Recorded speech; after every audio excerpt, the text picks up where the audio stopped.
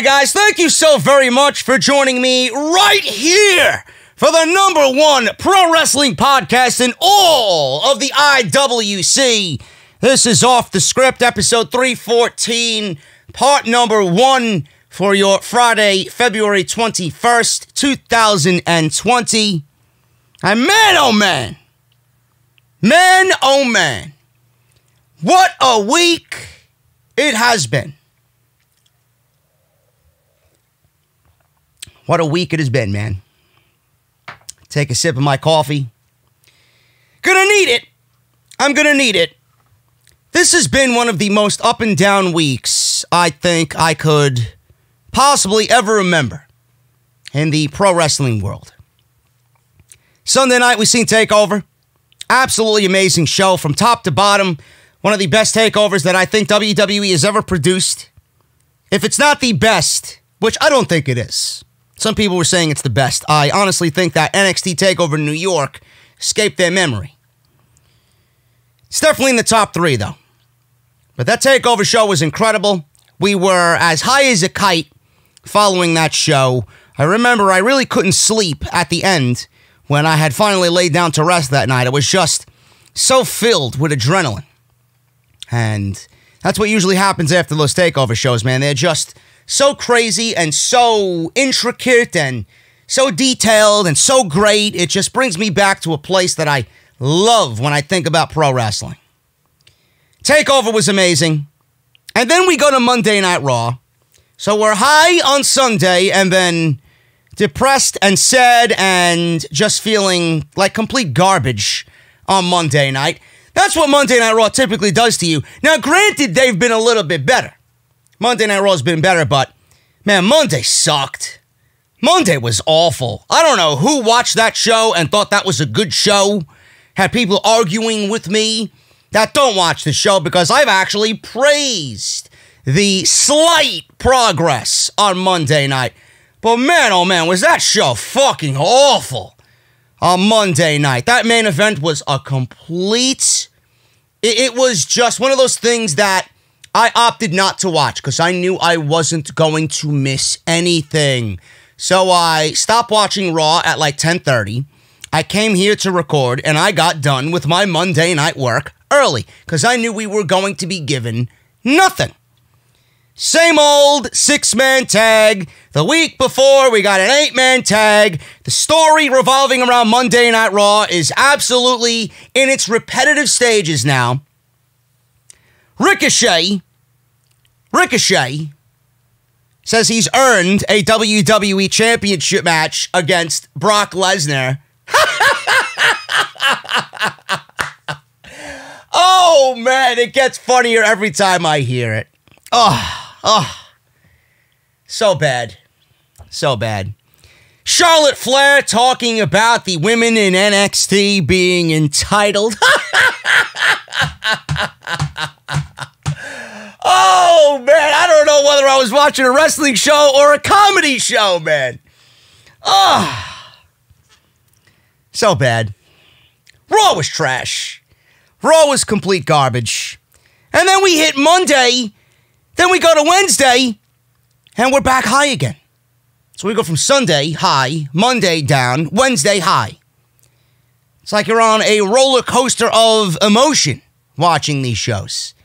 Wednesday was highlighted by a fantastic, best they've ever done AEW Dynamite show in Atlanta, in Hot Hotlanta. That crowd brought it. Cody and Wardlow in the steel cage. We got Kenny Omega and Adam Hangman Page defending the tag team titles against the Lucha Brothers. We got that tag team battle royal to crown the Young Bucks as the number one contenders. That match is set now. The tag team match at Revolution Bucks versus Page and Omega should be a barn burner. We got Jon Moxley and Jeff Cobb making his in ring AEW debut. And Moxley and Jericho continuing their feud. Darby Allin incredibly over with the company. Nyla Rose cutting what I thought was a great promo. Unreal. Wednesday was awesome. NXT, not so awesome. I mean, it was a good show, but it was nowhere near the highs that AEW was. But Wednesday is a great night for pro wrestling. And then, then we get to Friday. Then we get to Friday. I don't know whether I want to just hit stop on this record button right now or cry because I know what is awaiting me in some, well, four or five hours or so. I feel like this depression is just, it's hanging over me, man. I don't, I don't know what to do. I don't know what to do. oh, man. I'm at SmackDown tonight. We got Lacey Evans. we got Lacey Evans interviewed by Renee Young. We got an eight man tag. An eight man tag. That means absolutely nothing. And we got the Bella Twins.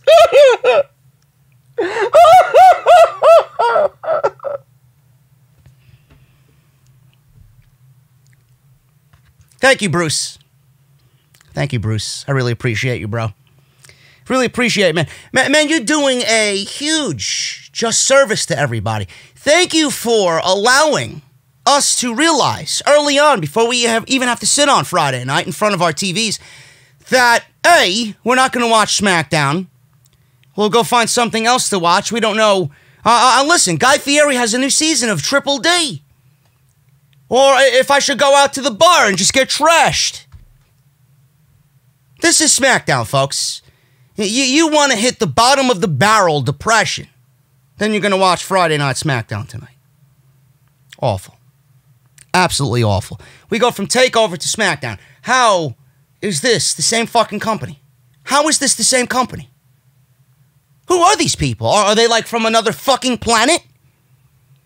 Are they from the planet in which pro wrestling doesn't exist?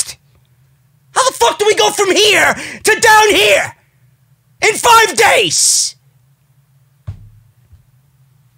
Unreal. So I'm envisioning tonight the review is about 20 minutes. Yes, because I can't wait to explain how everybody needs to be happy for the fucking Bella twins going into the Hall of Fame. And Lacey Evans crying a fucking river of tears because she's got an abusive father. Who the fuck cares about this shit? Please, some more force fed garbage down your gullet, Vince. Jesus Christ. Tell you what's not force fed the news on this show, man. I can't wait to uh, dive into all that I got here on the show. It's going to be a uh, doozy of an episode. I'm in some mood, I'm caffeinated. I'm ready to go, man. So thank you guys so much for joining me. It really is crazy how the week has just been so up and down. It's been great and then terrible, great and then terrible, and then the discrepancies between the good and bad is just it's unreal, man. I, it should not be that way. Should not be that way at all. But we're gonna go over SmackDown, Raw, AEW, NXT, and all the news sprinkled in coming out of each brand. That's what we do here on Friday. And then the big story Baron, I shall not call him King Corbin, because he is no such thing. He is a fucking loser. Baron Corbin. The guy sucks. The guy sucks big, fat, sweaty balls, does Baron Corbin. Baron Corbin has called Dave Meltzer a cancer to the pro wrestling community. And man, I can't wait to tell you why he went on and called Dave Meltzer a cancer to the pro wrestling community. It was based off of a tweet that was in defense of Elias versus John Cena and the rumor of their WrestleMania match. Someone, a human being, actually defended John Cena and Elias happening at WrestleMania. And Baron Corbin wanted to throw his two cents in. This is the big story, folks. Baron Corbin gets dumber and dumber every time he opens his mouth, every time we see him on television. This is what started Baron Corbin off. Bro, if the term or the terminology rent free applies anywhere it absolutely applies in this situation. Dave Meltzer is living rent free in Baron Corbin's kingdom. What a fucking sad state Baron Corbin is in right now, man. Unreal. We're going to go over that right here on the podcast. Again, thank you guys so very much for joining me here on the podcast. 314, part one. This is off the scripts. Hit that subscribe button down below. Turn on that bell for all notifications. Follow me on social media at JD from NY206. That's on Twitter and Instagram. So make sure you guys do that as well. If you guys want to check out all of the other contents that I have provided you graciously through my ministry, follow me, my sons. Follow me, my sons. Did you know that CM Punk has a fucking shirt in the same vein as Seth Rollins? Did you know that Sammy Guevara, he wore it on Dynamite, has a similar shirt? I have a Messiah shirt. Everybody, this is the new trend now in the fucking community. Let's get everybody to come up with their own design and make their own Messiah t shirt. But outside of the clown on Monday night, the Monday night clown, I think I'm in pretty good company, bro. I think I'm in pretty good company. But uh, make sure you guys check out all the other videos that you might have missed on the channel Raw, NXT, AEW, and then uh, my takeover review from Sunday, and then off the script. If you guys missed last weekend's off the script, that takeover review was awesome. Go and check that out. Everything you need is linked down below in the description of this very video. And if you guys want to go get that t-shirt, man, the YWC Messiah, the new off-the-script design, is available on bonfire.com. You guys can get yours today. I will leave you guys a link down below in the description right at the very top. Go and get yours today, bonfire.com. They did an awesome job on getting that campaign up. My boy Mikey did a great job on the design. I love it. And hopefully you guys go out there and support by getting a t-shirt and becoming a part of the ministry of Off the Script. Thank you guys for all that. Let's get into the news. Talk about SmackDown. SmackDown's rating was in early Saturday morning. And SmackDown featured an interview from WWE Hall of Famer Hulk Hogan from his beach shop. A women's title match that was actually very good. Carmella and Bayley brought it and I praised how good it was. So please do not tell me that I'm over, overly negative. I thought the match kicked ass, and that was Carmella's best match ever. And then obviously Otis and Mandy Rose in their Valentine's date, and Otis being heartbroken. Sad state of affairs with Otis and Dolph Ziggler. Despite a pretty decent show. Pretty decent show. And I said as much. It wasn't as bad. Showbuzz Daily is reporting that SmackDown brought in an average of 2.482 million viewers. The first hour brought in 2.521 million, while the second hour dropped to 2.442 million. Importantly, the show drew a 0.7 rating in the all important 18 to 49 demographic for Valentine's Day. By comparison, last week's SmackDown brought in 2.538 million viewers as, as an average across all two hours. This means that the show averages 56,000 viewers less than last week. For what it's worth, SmackDown was still the most watched wrestling show of the week. Obviously, it was. It's on Fox. I mean, what kind of statement is that? Oh, we're still the most watched show during the week because it's on the biggest network. Yes, please go and boast about that meaningless statistic. Raw and AEW average viewership figures of 2.337 million and 757,000 respectively last week.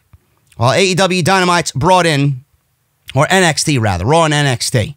AEW Dynamite brought in 817,000 viewers. So that was that. SmackDown, it's on the biggest network. It wasn't that bad last week.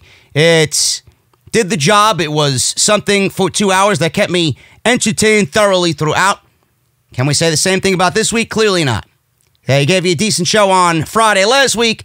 Tonight, it's going to be a different story because this show looks like it is going to be an absolute disaster. Feel like the review is going to be less than 30 minutes, and I would not mind if that is the case. I really would. SmackDown continues to be terrible. It is the worst show in the industry right now. Bruce Pritchard has got to be fired. I don't know you know, the rumors of Vince McMahon not being there, I, I don't listen.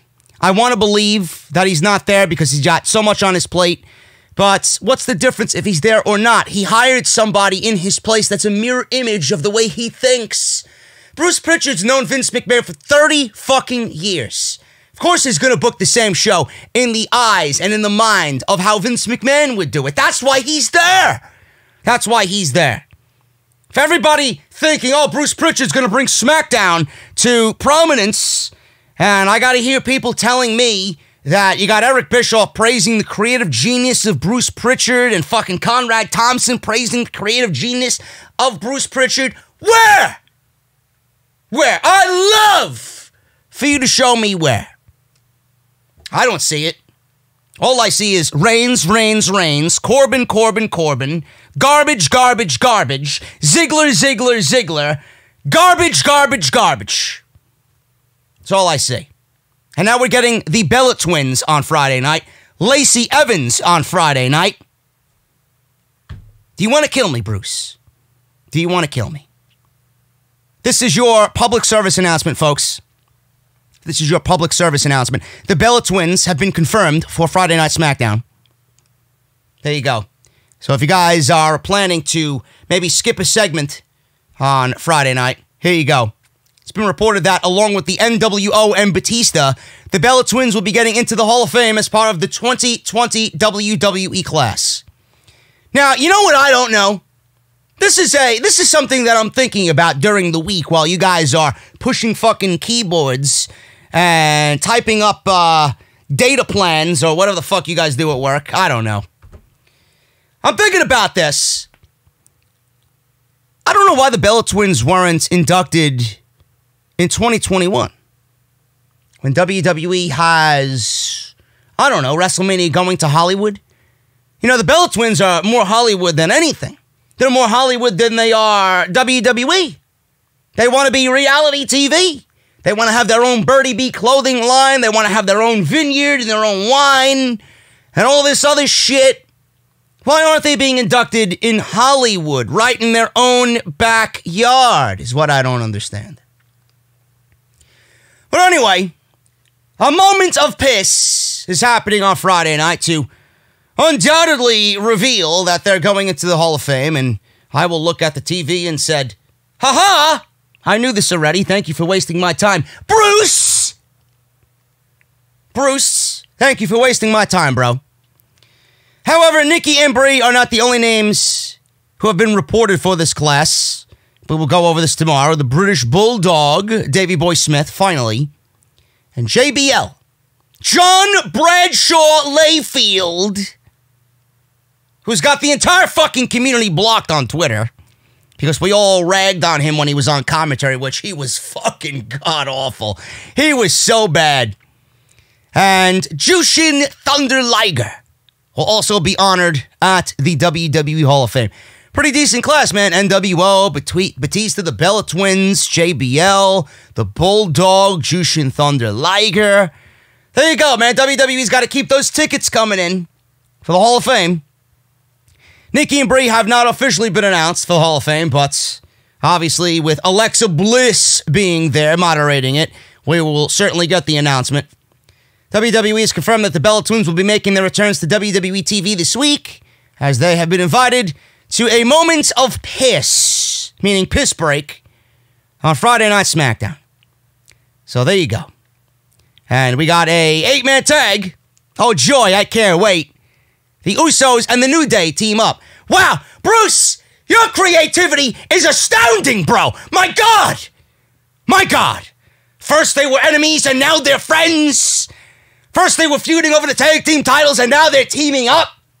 Wow. Oh. Oh my God, this creativity is just mind blowing. The Usos and the New Day team up in what is a revolutionary new concept. Against, against get this, Robert Roode, Dolph Ziggler, Miz, and Morrison. I can't handle all this creativity, man. Oh my God. I think I might be having heart palpitations. You fucking serious? Are you fucking serious? The Usos and the New Day. Oh man, I can't wait.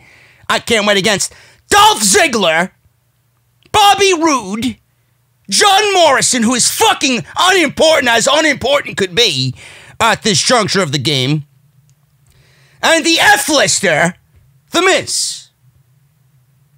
Hey, Bruce, how about pushing other tag teams on the show? Oh, that's right. You don't have any other tag teams.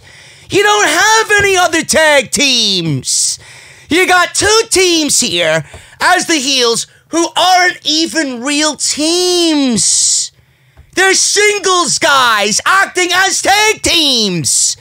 Nobody sees this, and yet they want to complain that I complain. Well, JD, what are you complaining about? What are you complaining about, man?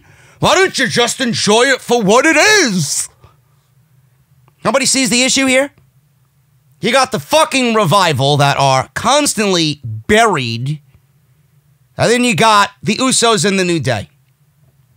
Three tag, th- three legit tag teams on the show, two of which WWE will bend over backwards for any time they need to.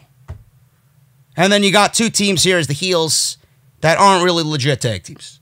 Nobody sees the issue here in the tag team division. They just want to glance by it. Nobody wants to make an issue out of it. Nobody wants to bring awareness to it. But what is on the line? Seriously, what is on the line? Is Robert Roode's fucking uh, wellness violation on the line from the last two weeks? Are we going to find out what happened when he got suspended? Maybe Dolph Ziggler, maybe a lock of Dolph Ziggler's glorious blonde hair is on the line. Maybe the fucking bill that he sat down for Mandy Rose and the dinner that they had together. Maybe the bill is on the line in this match. John Morrison, maybe he's gonna fucking parkour off a fucking turnbuckle in the match. What is gonna be on the line for The Miz? Maybe one of uh, his daughter's dirty diapers is gonna be on the line. Seriously.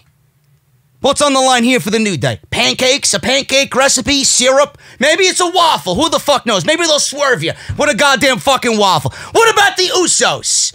What about their blood alcohol content? Maybe the paperwork for that fucking DUI is gonna be on the line. You fucking serious? If you're not gonna make it interesting, what the fuck is the point in this match even happening? Unreal. Tag team title implications on the line? Give me a break. Give me a fucking break. This match is the antithesis of, you know what, I'm gonna be lazy today. I don't give a shit today. The fans will eat it up no matter what we put out there today. Great job there, Bruce. Great job there, Bruce. I could fucking book this show. I could be in a fucking coma for six months and book this show better than Bruce Pritchard. Try me. Try me. Bayley versus Naomi is set for WrestleMania 36. Oh, really? oh, really? Where do you guys envision Sasha Banks being at WrestleMania? Is she even going to be in Tampa at WrestleMania? Probably not. Probably not. I don't know. Bayley, ver- listen, I have, before the fucking cretins come at me, I have no issue with Naomi. I don't. I actually, I actually think Naomi is very talented. And I was very happy to see Naomi back. She is a good hand in the women's division. But if you're asking me, if you're asking me if this is a WrestleMania match, a worthy WrestleMania match, the answer is no. The answer is no.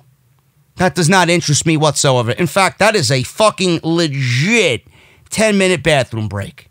I'm gonna eat all the fucking potato skins and mozzarella sticks I possibly can, and then go to the bathroom and shit it all out just so that I have an empty stomach for the next bathroom break. That's gonna be undoubtedly smothered somewhere on the WrestleMania card. Bayley versus Naomi is set for WrestleMania 36. Last week, Bayley successfully defended her SmackDown Women's title against Carmella in what I thought was a very good match. Carmella's best match, period. And she will have another shot to get into contention as she will face Naomi on Friday night tonight. The winner of the match will face Bayley for the title at Super Showdown. So there you go. So if the title match is set for WrestleMania 36, either we get Carmella beating Naomi again to get another title shot, And then we get Naomi being built because there really is nobody else in the division to challenge Bayley for the title? What if Naomi beats Carmella, goes to Super Showdown, and gets a fuck finish handed to her, and then we got to hear and see this feud just materialize over six weeks or so? I'm not really interested in that. Does WWE even have a storyline here to build Bayley and Naomi for WrestleMania 36? How about this one? How about we get Sasha Banks thrown in there and Sasha Banks back on SmackDown and we get Sasha Banks versus Bayley at WrestleMania 36? And before the cretins start telling me that, oh, I don't want to see the match, we've seen it already, it's three years in the making, we don't really need to see it anymore because they wasted so much time. Yes, but if you look on this brand, and you look at who's in the women's division, I don't see a WrestleMania worthy match. I'm not booking trash at WrestleMania. I would prefer WWE not to book trash at WrestleMania. WrestleMania is for the elite. You're not going to put just anybody on this fucking show. There's nobody on this brand in that division worthy of a WrestleMania match outside of Bayley and Sasha Banks. And that is factual information. So I don't know how WWE is going to go about this. So, like I said, those are the only ways that we could go about it. Either Carmella beats Naomi, and then we get Bayley going over Carmella in Super Showdown, and then we get Naomi and Bayley being built for the remainder of the weeks leading into WrestleMania. Or we get Bayley and Naomi because Naomi beat Carmella. We get that in Super Showdown, and there's a fuck finish. So then where's Carmella going to play into this? Because she's undoubtedly going to want another fucking title shot. You might as well just go with option A here. Get Carmella out of the fucking way and just concentrate on Naomi and Bayley. You know what I can't wait for? The fucking tag team matches, repetitive every week, that we're going to get in the build for this. We're probably going to get Carmella and Naomi versus Bayley and fucking Dana Brooke, or whoever the fuck is going to be joining this garbage feud on SmackDown Live. Can't wait. Can't wait. Where's Sasha? Sasha needs to come back. Fuck the Mandalorian. Come back to TV, please. We need you more now than ever. This is awful. Absolutely awful. I'm not interested in any of this, and that certainly isn't a WrestleMania match in my eyes. The New Day. The SmackDown Tag Team Champions. The New Day.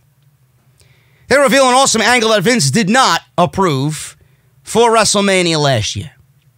Now, WrestleMania's build with Kofi Kingston was very good. Probably the best thing coming out of WrestleMania. And I am not really hiding that in any way. I've said this multiple multiple times over the year and during last year's WrestleMania season. Last year, WrestleMania 35, Kofi Kingston managed to defeat Daniel Bryan in what many look back on as the match of the night. And it really was to capture the WWE Championship. Kofi's title win was a real good, feel good WrestleMania moment. Now, while the feud between Bryan and Kofi was pretty good, some have condemned WWE for the inclusion of Vince McMahon. I don't really, listen, I don't mind Vince McMahon being in the feud because it just added another element of, yeah, they're not going to do it for Kofi. They wanted to build up that fan, you know, anger. They wanted to build up that real good old fashioned pro wrestling angle where everybody in the WWE knew the fans wanted it and they wanted to do everything in their power to kind of make you believe that it wasn't going to happen. And I love that type of stuff. I really do.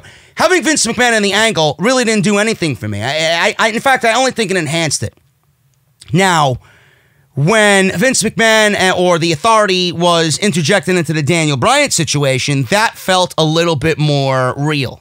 You know, the only thing I could take away from the Vince McMahon inclusion here in the Kofi Kingston storyline last year is that they tried too hard to almost mirror what they did with Daniel Bryan and the authority.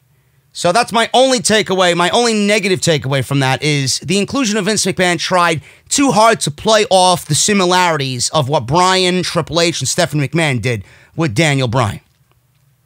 They argued that it was never clear why Vince McMahon didn't want Kofi to challenge for the title at WrestleMania. In fact, you know, you know, it might have been, and I know WWE would have never gone about doing this. It would have been great if they were just honest, you know, and they just went with the storyline of Kofi Kingston being a B plus player. He was never believable. He was never good enough to be WWE champion. Imagine in a perfect world where this could be played out on storyline if they could play up the fact of his skin color. You know, I, I think that would be. It would never get on TV, but it would have just been volcanic. You know, I don't know. I don't know. It's again mirrored what I said about Daniel Bryan. It was something along the line of, oh, oh he's not good enough and he's a B plus player. And that's the only reason why Vince McMahon was included in there. Because Triple H had nothing to do with the show. Stephanie McMahon had nothing to do with this show. They were a little bit more honest. You know, they didn't have to really make it blatantly, or people like you, guys like you, aren't cut out for the WWE Championship. They really went about that and really garnered some real fucking heel heel. Like Jim Cornette, he wants AEW to play up the fact that Nyla Rose is, you know, this whole thing about her gender, play up the fact of her gender and really make her a dominating, monstrous heel and a hated heel based off of what everybody's talking about with Nyla Rose, and that's her gender. WWE did this in a very subtle way, but kind of blatant at the same time, you know, without really just throwing it out there to everybody. I think it would have been fucking huge. But I know for a fact that was never going to make it to TV. That's just me fantasy booking in a real babyface heel environment. Speaking of Kofi Kingston and Mr. McMahon, it has been revealed that the WWE canceled plans for an awesome angle that would have seen the New Day storm into Vince's office. This was actually revealed on the New Day's podcast. Big E revealed the plans for this angle. The original plan was that you and I, speaking to Kofi. We're supposed to go backstage, ripping things up, tearing things up as we go into his office. We go into Vince's office and we knock on his door, and either he doesn't answer or he opens the door and says, I don't have time for you, or something like that. The plan legitimately, and I was so excited for this, was that we kick in the door, we tear up his office, legit throw things over. I think he's in the office in the corner. We're throwing tables and making a mess of his office, just going on a rampage and like had this visceral anger about what's happening to Kofi. And one of those things that drove the storyline was that Kofi's story so closely paralleled Bryan's, but to me didn't feel like it was a ripoff or a derivative of Bryan's story at all. And of course, the fact that you were pitted against Bryan at WrestleMania when that time came. I think some of the language was interesting that he who shall not be named talked about you, that you were a B plus player, that you weren't good enough. It was a lot of thinly veiled when you got 13 years of experience. Like, why exactly aren't you good enough? See, that's where Biggie, I do believe that's where Biggie is going with that. You got 13 years of fucking experience with this. Why are you thinking that Kofi is not exactly good enough for the WWE Championship in a main event of WrestleMania? If they push that envelope as far as they could, I really do think that it really could have taken the storyline into a whole new world and just really made. And Bryan being there standing next to Vince McMahon, it, it would have made Bryan's heel heat even more volcanic and it would have been great, you know? But then I would have feel like if that was the case, then maybe some negative backlash would have come down on Daniel Bryan after that. People take this shit too seriously. But it played out nicely. Kofi's reign happened. He had the title for a good six, seven months. WWE tried their best to make him a legit champion. The way that they handled his reign at the end of it really was just a shame. And they just kind of wasted everything in the seven seconds that they pitted him against Brock Lesnar. But that would have been fun. That would have been fun. I don't know why Vince McMahon didn't like that angle. That would have been great. It would have been something different. You would have seen another dimension of the new day. You would have seen more anger. I think we needed to see more anger. That's what I'm trying to get at. I think we need to see more anger in this storyline, really. And I don't think Big E was able to break out in the way that he wanted to just be there for his friend and defend his friend, you know? But it ended up working and they discussed it. I thought that was interesting enough to put here on the podcast in the SmackDown portion of OTS. Baron Corbin. Baron Corbin, I shall not call him King Corbin, calls Dave Meltzer a cancer in the pro wrestling community. Now, all of this started by a simple tweet. And if I, I do have a screenshot of the tweet, I don't have it linked up to my OBS, but I will put it in post edit. You guys will see that on the screen right now. Baron Corbin calls Dave Meltzer a cancer in the pro wrestling community because of this tweet. Because of this tweet. I don't believe that this got Baron Corbin all salty. Absolutely pathetic. Absolutely pathetic. Remember when people loved Elias? People are only shitting on him versus Cena at Mania because Dave Meltzer did it. These fans really don't have a mind of their own, says Danny Tejada on Twitter. About the people is his handle. You don't know a goddamn fucking thing about the people, bro. Yes, this is Dave Meltzer's fault. Dave Meltzer practices black magic. He has fucking sorcery spells that he just casts all over the fucking community, and he's brainwashing everybody at one fucking stroke, right? Right? Come midnight, he's poisoning everybody in the community. He's a fucking magician. Color me pink. I didn't know that about fucking Dave Meltzer and Bryan Alvarez. Give me a break. Dave Meltzer is one of wrestling's most prominent and respected journalists. You might not like him. I know he's not the most uh, sought after guy when someone gives an opinion on something, but he is absolutely the go to for the majority of the community. If Meltzer and Alvarez talk about it, it's in the news. If Meltzer and Alvarez talk about it, it's always going to be a talking point for everybody. Wrestlers sometimes take issue with the work of Dave Meltzer on Wrestling Observer, often because he has criticized a segment promotion that they were a part of. So what? So what? Do you want me to go cut the fucking uh, flyers that I got in my mailbox? I think there's a coupon for fucking Kleenex. Please. Two for four at Acme. Give me a fucking break. People don't like him because he's criticized a segment or promotion that they're a part of. So what? You're on TV. You're on live television. You are an actor. We have every right to criticize anything that you do if you are a public figure.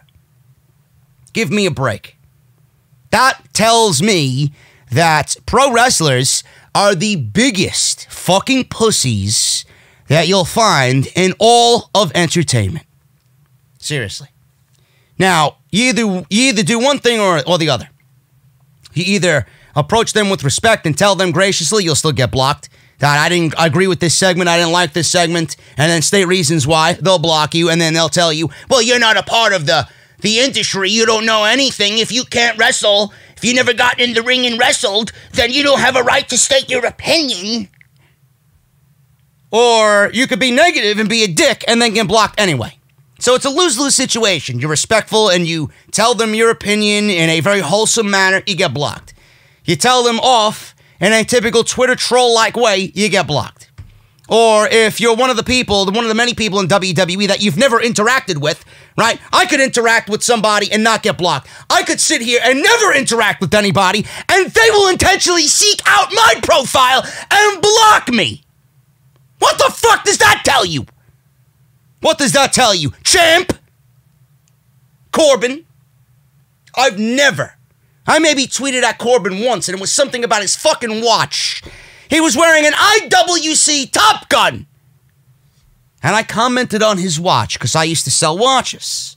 I used to sell that particular brand of watches. Maybe he was wearing a Panerai, maybe he was wearing a Rolex. I know he was wearing a Submariner on one of those Monday Night Raws that we seen him on when he was on Raw. Panerai, IWC, Rolex, whatever the fuck the guy was wearing. The guy's got good taste in watches, and I complimented him on that. But then when he moved to SmackDown and we started shitting all over the fucking segments with the dog food and Roman Reigns and the fucking feud that will never end, he took offense to this.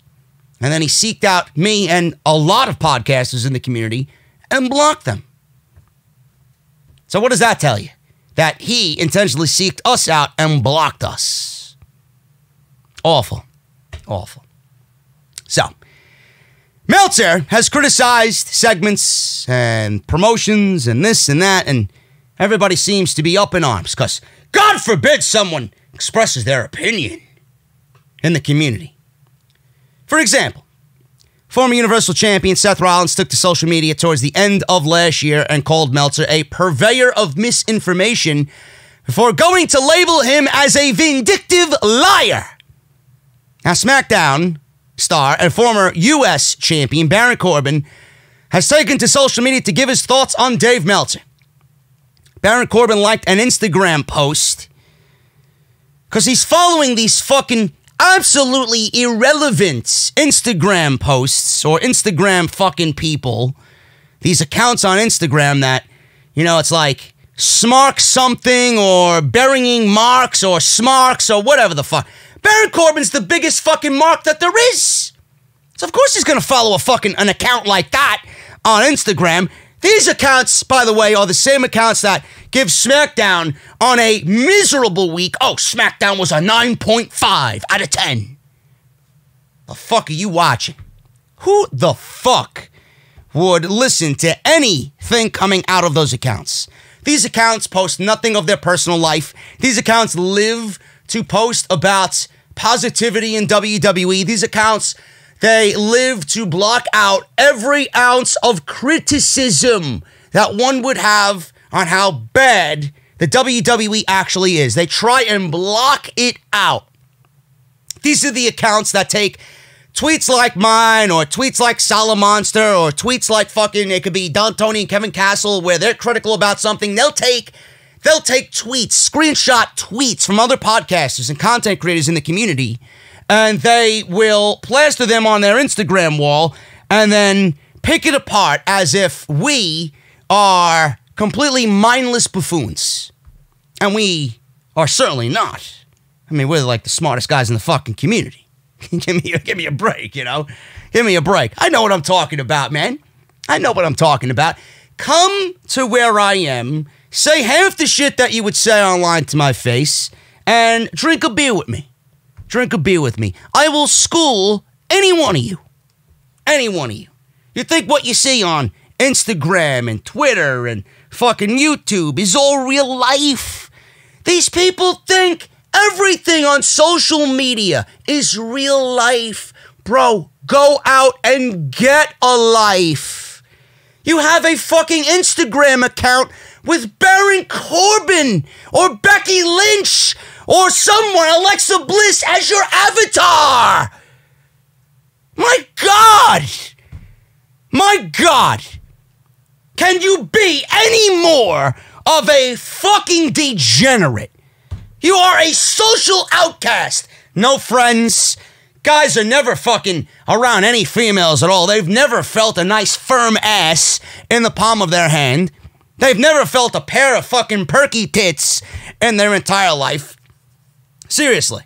Have you even fucking cooked a dinner for a woman? Have you ever bought a woman a cold beverage? Have you even asked a woman out on a date? Have you even looked at a woman? Do you even know what a woman looks like? No.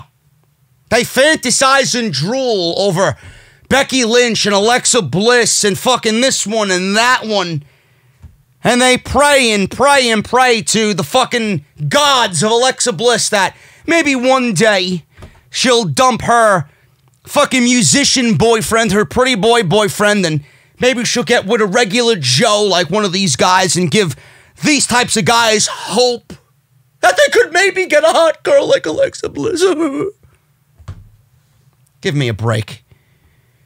Baron Corbin liked an Instagram post from a fan saying that People are only down on the idea of John Cena taking on Elias at WrestleMania because Meltzer wasn't keen on the match. Yes, because Dave Meltzer's opinion is the vast majority of the entire community, right? Nobody else in the community has a fucking brain to think for themselves. This is what Baron Corbin said on this while he went on and called Dave Meltzer a cancer, not only to WWE, but the entirety of the wrestling business. Bro, Meltzer's living rent free in your kingdom. How does it feel? How does it feel? I'm living rent free in everybody's fucking head on Twitter. Forget about it. I'm in the mouth of everybody every fucking week. Every time these shows are on, people have my name in their mouth. Bro, I am living rent free. My feet are up on the fucking recliner. I got fucking beer in the fridge that's fucking coming out. I can't even keep it cold. Motherfucker. And then I'm fucking your wife at the end of the night when this show is garbage. Popping a BlueChew and I'm going to town. That's how rent free I'm living in these people's heads. Corbin says this People need to realize that he's cancer to the entire wrestling industry, not just WWE. He inspired hatred to anything and everything he doesn't like or agree, agree with. For example, I might not like a band, and that's fine. But what separates us is that I don't have to continuously bash them online or work to get others to hate them as well. I don't have the time or energy to be that negative of a person. Okay. Let me try and grasp what he's trying to say here. For example, this was a terrible example, by the way. For example, I might not like a band, and that is fine. But what separates us is that I don't have to continuously bash them online or work to get others to hate them as well. Now, he's comparing not liking a band to not liking a pro wrestling program. Let me see. Let me try and uh, let me try and devise a, a statement here and make sense of it. Baron Corbin is comparing a band who releases one album every two or three years or so and if it's a band that I listen to maybe once every five or six years, some bands, upon first listen, if they have a great album, you listen to it through and you realize it's a great album. Sometimes a band puts out, sometimes that same band puts out a bad album. And I listen to it maybe three songs in and I'm like, this shit sucks. This shit sucks. I'll put it down for a little bit and then I'll go back and listen to it again, give it another try. Maybe I'll listen to the first three tracks and then the rest of the album one sitting. Maybe I'll just digest it, you know, 25% here, 25% there, 50% here, and kind of get all of it and try and sit in on those multiple sittings and try and digest everything and then go back and listen to it all and then come up with a situation where I just don't like it. He's comparing being in a band to being on a live pro wrestling program. He's comparing being in a band where you put out one album every two or three years to a live wrestling program where he's on live TV once every week for 52 weeks a year. You see, the thing is, if a band knows they put out a shit album, they will do everything in their fucking power to go back and write a good album. Monday Night Raw and SmackDown on Fox, they'll put on a good show and they will continuously put on a good show. They will listen to fan criticism. Where the band is going to listen to the fans' reaction if you put out a fucking world acclaimed record and then the second record is complete dog shit and the fans tell you they're going to go in the studio for the next album, make sure that doesn't happen again. And nobody's listening to the same fucking album once every week for 52 weeks. There's no reason to shit on a band 52 weeks a year. One time shitting is enough. Once. Once. You leave your little Amazon review, you leave a one star and move on with your fucking day. But you, you! You're a part of a show. You work for Bruce. You're a part of the worst show in the industry. That's live every week. And you refuse to get better. Yeah, you don't want us to shit on the show because the show should be surrounded in positivity. Everybody should speak highly and positive about SmackDown on Fox. Really now. Really now. I'm sorry. I don't know what the fuck you're watching. Do you go back and watch these fucking shows? What the fuck are you doing when you're done with your segment? Do you watch what the fuck is going on? I mean, who in their right mind would watch this shit and say, oh man, this is a great wrestling show? The show sucks! It's complete dog shit. Every single week. That was a god awful example separates us is I don't have to continually bash them online. Okay. Okay, so the band puts out a bad album. That's one bad album. You leave one bad review. You're done. You just don't like the album. Every time someone's gonna fuck two six months to a year after the album's release, you're not gonna go online and say, "Oh, this band fucking sucks. This album sucks." Blah blah blah blah blah. You're still gonna go see that band live in concert, right? I know I would, because then you're not really a fan, and of course you would want to see the good album being performed. You don't even do that. How the fuck are you gonna get people to come see SmackDown when none of your albums are good? None of your albums are good. Why would I pay to go see you live? Baron Corbin is a complete fucking idiot. A complete fucking idiot. Now, the tweet. The tweet. John Cena and Elias. John Cena and Elias. Remember when people loved Elias? People are only shitting on him versus Cena at Mania because Dave Meltzer called oh, or did it, or Dave Meltzer shit on it. These fans really don't have a mind of their own. Meanwhile, you go to this Danny Tejada's page, he's legitimately calling Baron Corbin his king. This is like some super fan, creepy, bizarre, morbid fucking shit that you go see this guy on his page. It is downright fucking morbid. Completely bizarre calling Baron Corbin a legitimate king, you know, praising this guy as if he's a fucking real ruler of a fucking empire. Here is a lesson here, folks. Here's a lesson, Danny Tejada, you fucking imbecile. How about this? Which this one might go right over your fucking head. Because people like this are the absolute. This guy here, Danny Tejada, is the cancer of the wrestling community because they don't know any better. They're the ones who are brainwashed by WWE. Here's one. Here's one. How about this one? How about the match between John Cena and Elias just plain fucking sucks? How about that? Have you watched the last two WrestleManias? Wasn't Elias and John Cena in the last two WrestleManias together?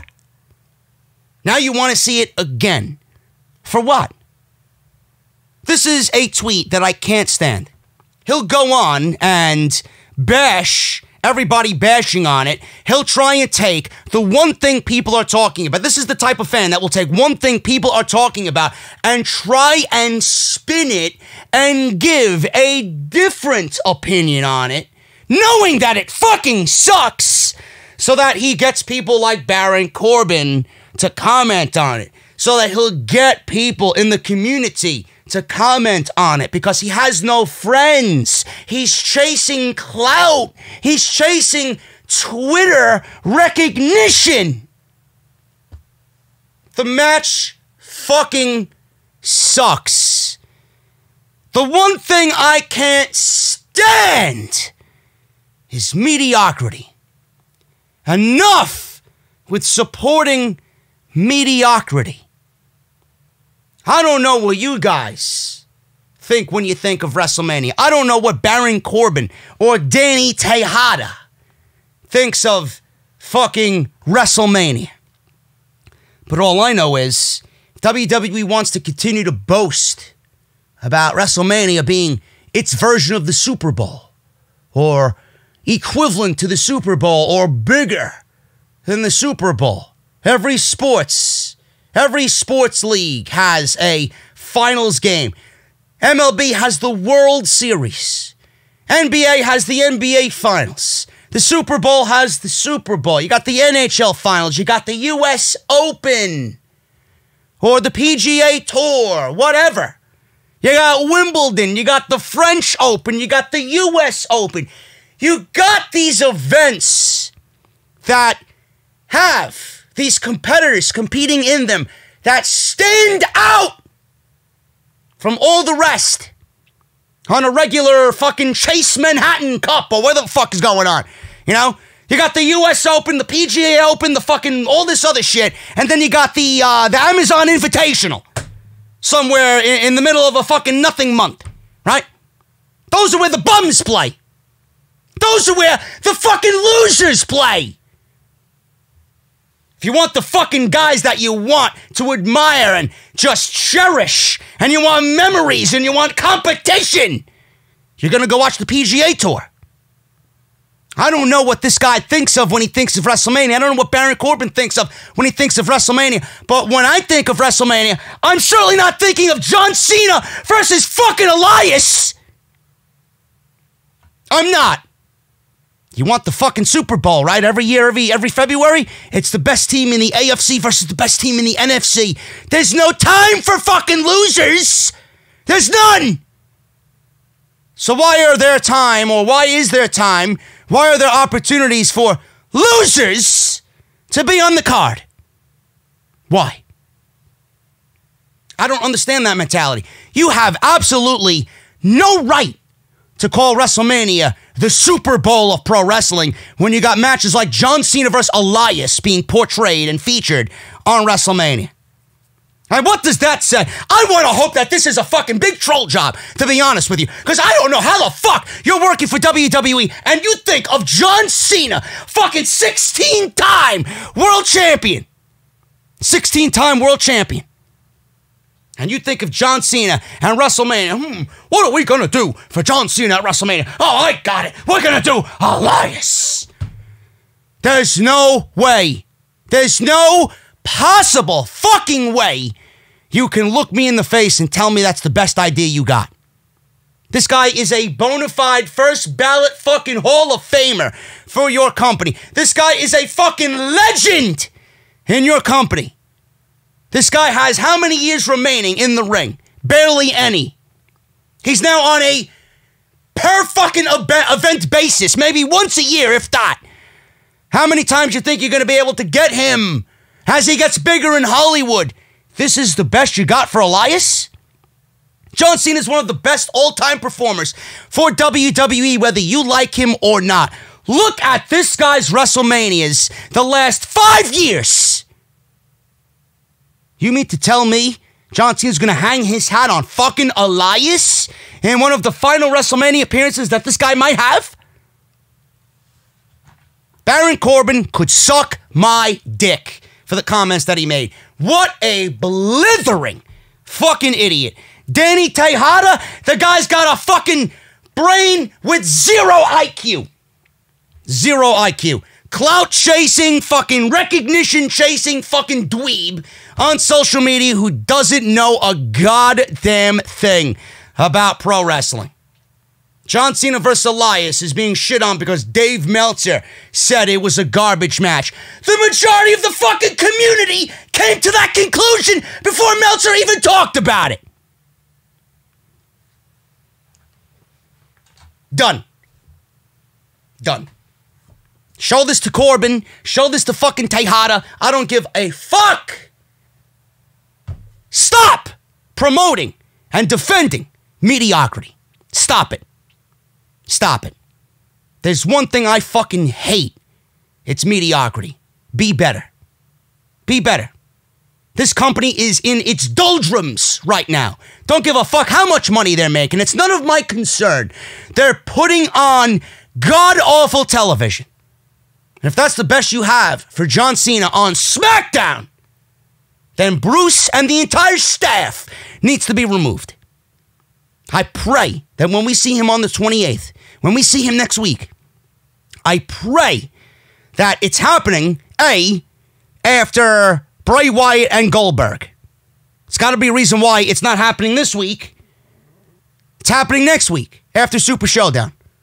I pray that A, it's happening after Goldberg and Bray Wyatt, and B, it's going to factor John Cena into a Bray Wyatt match or a Goldberg match. Something. Something. And C, hopefully that means this is all a troll job by WWE to keep John Cena's name out of everybody's mouth as far as a big WrestleMania match because they want to keep it secretive. So they threw the Elias red herring out there. I pray. My fingers are crossed. Monday Night Raw.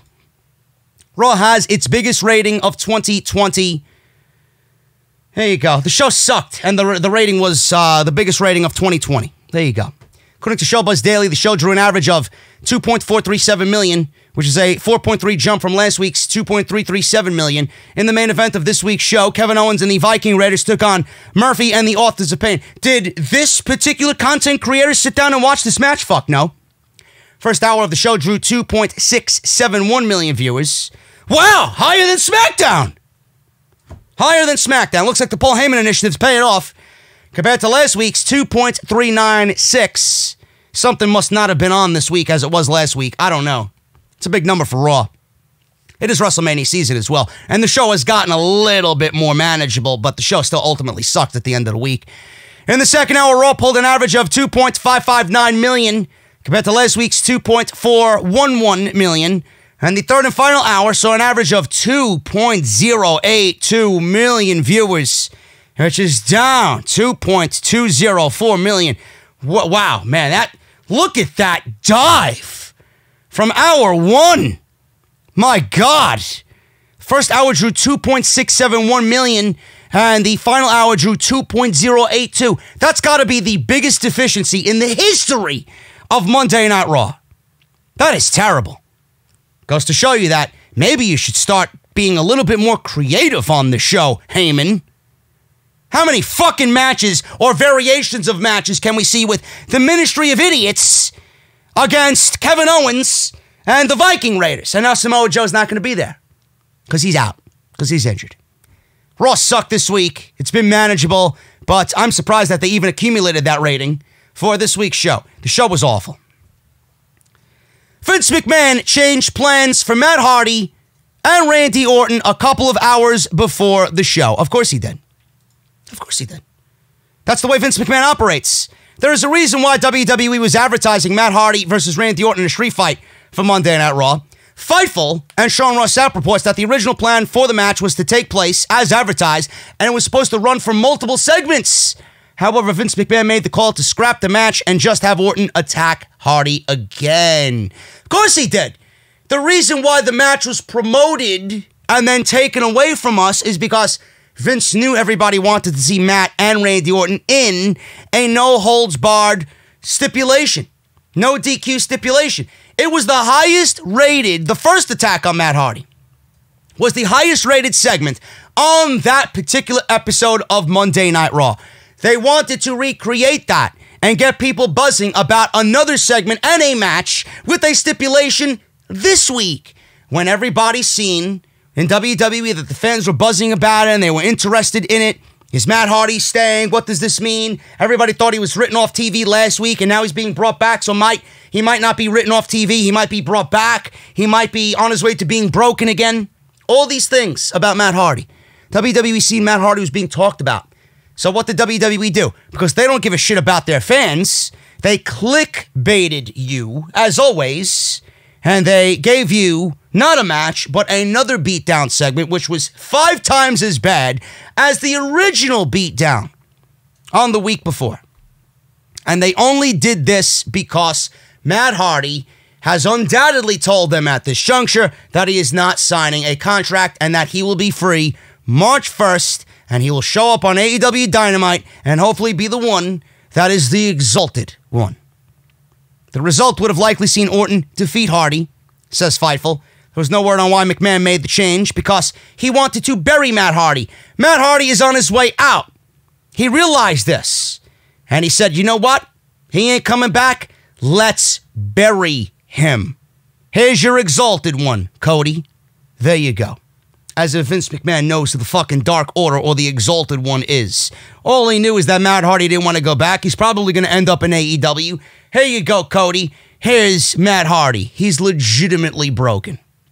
But I don't think Vince McMahon really realizes how over Matt Hardy is. Matt Hardy is a very over figure on social media. Matt Hardy's videos are very over on YouTube, and he's still got that star just feel about him.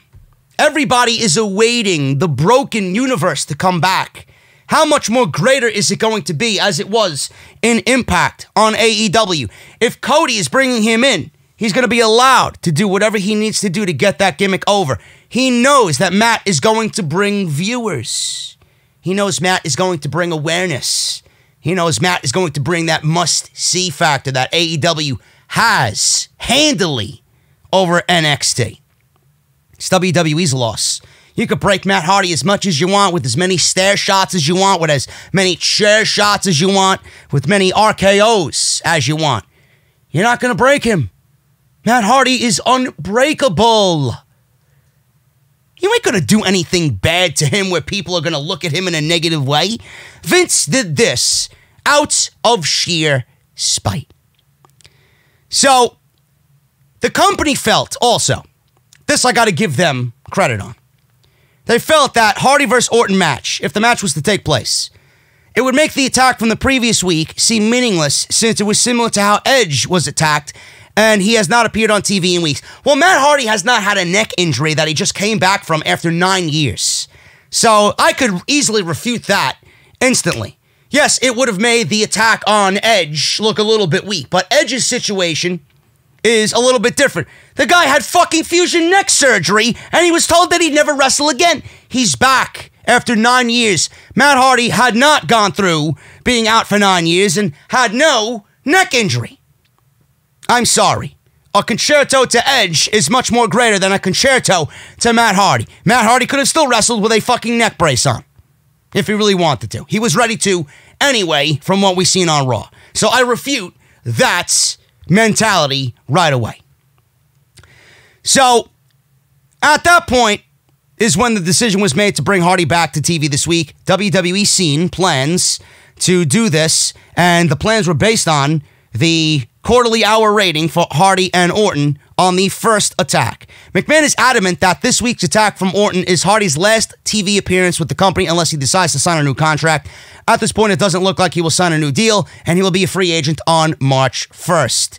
Hardy sent a tweet to sell the latest attack by Randy Orton as many fans picked up on how against every warning spells out AEW. Hardy is heavily rumored to be the exalted one in the Dark Order stable. Goodbye. Vince McMahon and WWE clearly did not know what they had in Matt Hardy, and he is better off. They usually say the grass is not greener, or the grass is not as green as it should be on the other side, or as you think it will be on the other side.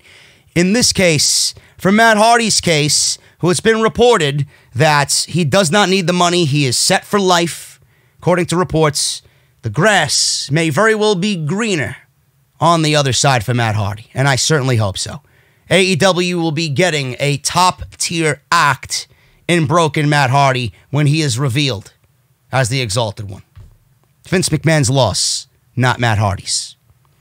Speaking of Randy Orton, Randy Orton tells Matt Riddle to fuck off on Twitter. This is not surprising at all. But how did it come about? Let's talk about it. After he attacked Edge on Raw after the Royal Rumble, Randy Orton instantly reaffirmed himself as one of the WWE's most hated heels. Taking to social media this week, Randy Orton has certainly not warmed himself to WWE fans by telling beloved babyface Matt Riddle to quote unquote fuck off. Over the NXT weekend for TakeOver Portland, Pete Dunne and Matt Riddle, the Broserweights, bro, defeated Undisputed Era's Bobby Fish and Kyle O'Reilly. How much fish could Bobby Fish fry if Bobby Fish could fry fish? That's actually on a t shirt, by the way, now. Yes, legitimately, it is a t shirt. And they beat the Undisputed Era to capture the NXT Tag Team titles. Great match. Right outcomes, great match. Riddle took to Twitter last night to celebrate, or not last night, uh, I guess after TakeOver, or Monday, to celebrate winning his first piece of gold since joining WWE. Responding to the tweet, former World Heavyweight Champion and WWE Champion Randy Orton told Matt Riddle to fuck off after just wishing the NXT star the best of luck. He says, and I quote, hated you. Now I get it. Good luck. Also, fuck off. End quote. Randy Orton said that he initially hated the former UFC star, but now got him Let's hope that this was merely just Randy Orton playing into Randy Orton on social media, and this is not what he really thinks of Matt Riddle. Hopefully, Vince McMahon feels that way as well. Or not the fuck off part, but hopefully, Vince McMahon gets Matt Riddle. So, looking at the comments towards this tweet. Some take it as a compliment towards Riddle.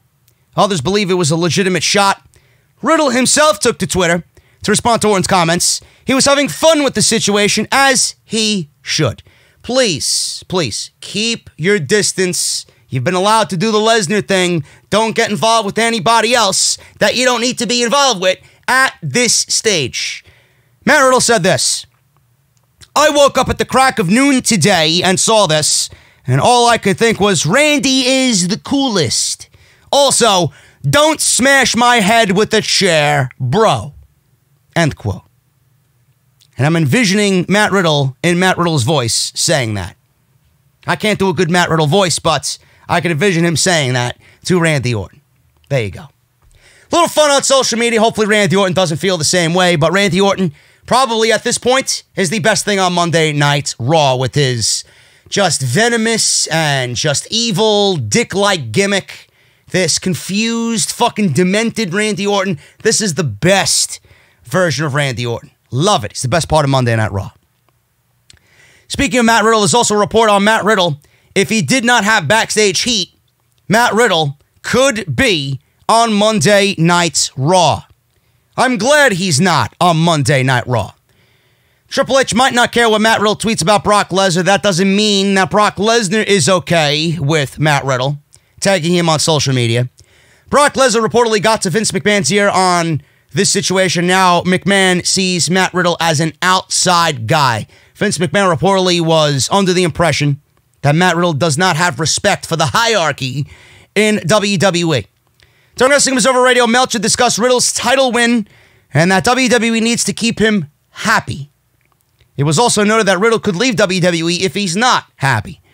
He has experienced the pro wrestling scene outside of WWE, so he knows that there are indeed other options for him. Meltzer went on to say that if Riddle didn't have main roster heat, he would probably be already put with Heyman on Monday Night Raw. Meltzer says this, and I quote If WWE uses him well, then he'll stay. But he's not a guy like some of these guys are, to where if WWE doesn't use him, he'll just go and sit there and go, oh, well, I'm in WWE. He wasn't happy in UFC. He wasn't happy in Bellator. He's only going to be happy when he feels like he's being used to his top potential. He's got to be pushed in a certain way, and also, he should be pushed in that way anyway. It should be interesting to see, but I would think, again, if it wasn't in a situation it was now with Lesnar, that he would be with Heyman on Raw, on the Raw roster, and he'd be in that Aleister Black position, and he'd be doing better. Much better. End quote. I think Matt, it's unfair to say Matt Riddle would be doing much better because creatively, you know, Paul Heyman might be taking care of him, but at the end of the day, he is always going to be overlooked by Vince McMahon. If Vince McMahon doesn't like Matt Riddle, Matt Riddle could have been buried. Vince McMahon doesn't get Matt Riddle like Triple H gets Matt Riddle. Triple H knows this about Matt Riddle. Vince McMahon will not know that about Matt Riddle. Cedric Alexander was going to be pushed by Paul Heyman because Paul Heyman seen him as one of the future pieces of the company. Vince McMahon gave Heyman an edict to bury Cedric Alexander. For what reason? We don't know. We don't know. Vince McMahon just didn't like Cedric Alexander at the end of the day. The same thing would have happened with Matt Riddle. And then we'd be talking about how Matt Riddle is going back to the Indies and potentially ending up in AEW. You can't do that to talent like Matt Riddle. Triple H has got it right. Keep him happy. Who wants him on Raw now anyway? The further Vince McMahon is not a part of Monday Night Raw, the further we go on here and Vince McMahon completely distances himself further and further, that's when you can start thinking about Matt Riddle on Monday Night Raw. Now? Absolutely not. The only reason why people are thinking about Matt Riddle on Raw now is because Lesnar is on Raw now. It could wait. It could wait. When Vince McMahon is more of a non factor, when you can start thinking about moving Matt Riddle to Monday Night Raw. Other than that, he is perfect right where he is. And if Matt Riddle has a say, if he's going to be used creatively in a different way, and if you don't think he knows that by now, you got to be a complete idiot. If Matt Riddle is creatively happy with what he's doing on NXT, then keep him on NXT and pay him what he deserves. I would rather pay him and keep him on NXT than lose him to an AEW. That's if I'm WWE, of course. There are people in that company that get it, and there are people in that company that don't get it. Vince McMahon is one that doesn't get it. I don't think Matt Riddle would be very well on Monday Night Raw right now. I'm glad he is not. Samoa Joe is injured again, this time filming a commercial. Samoa Joe has had a terrible string of bad luck in 2020. He missed four months with a broken thumb last year. He had a, a concussion for a couple of weeks this year already. Now it's being reported by Ryan Satin, Pro Wrestling Sheet, that he has been injured again, this time while filming a commercial. The report says Joe hit his head during a bad table break. So he's filming a commercial where he's going through a table? For what? And why would you have someone who's injury prone going through a fucking table? The report says Joe hit his head during a bad table break and could miss a considerable amount of time. Now he's in this rivalry with Rollins and his disciples. He and Kevin Owens have formed an alliance to combat the heel stable, meaning Owens will be missed and well, Owens is going to be missing an ally. He's not going to be missed. I miss good writing, but Owens is going to be missing his strongest ally moving forward. Joe also suffered a storyline injury on Raw on January 27th when he and Owens challenged Seth Rollins and Buddy Murphy for the Raw Tag Team Championships. Joe took a hard fall on the outside. It was being reported that Joe had a legitimate concussion. It was very minor, but they kept him out for precautionary reasons. Uh, this report is saying it was a storyline injury. I heard it was a legit concussion. So take that as you will. So this resulted in the referees in this instance forcing Joe to the back to be checked out on, leaving Owens to face the champions alone. Joe has been forced to miss WrestleMania in the past, and hopefully this is not the case this year. If Joe, from what I'm hearing, he's going to be out a while. If he misses WrestleMania, that sucks big time. If Joe is legitimately out for a while with this latest injury, he's done. He's done. This is the final straw that broke the camel's back. That's it. Joe will never have a major push. Joe will never have a major title. Joe will always be that guy that they will always look at and never give a true push to, even though they want to, based on his injuries. Now, he went through a table. We don't know if it's a concussion. We don't know if it's a back injury, a shoulder injury. Maybe he tore something. I don't know.